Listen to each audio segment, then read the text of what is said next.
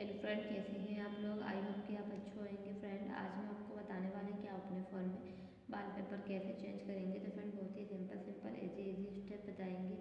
आपको देखना है और फॉलो करना है वीडियो की पूरी जानकारी लेने के लिए।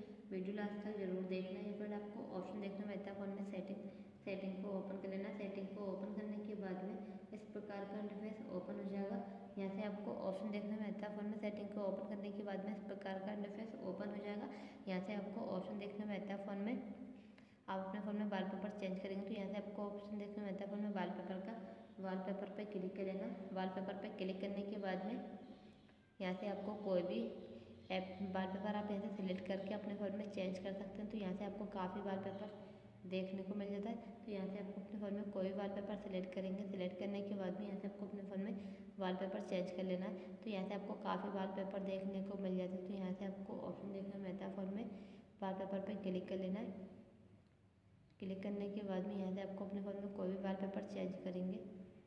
चेंज करेंगे चेंज करने के बाद में आपको कोई भी वॉलपेपर सेलेक्ट कर लेना यहाँ से आपको क्लिक कर लेना क्लिक करने के बाद में यहाँ से आपको ऑप्शन देखने को मिलता है। यहाँ से क्लिक कर लेना क्लिक करने के बाद में अप्लाई पे क्लिक करेंगे और स्टार्ट बोर्ड पे क्लिक कर देंगे।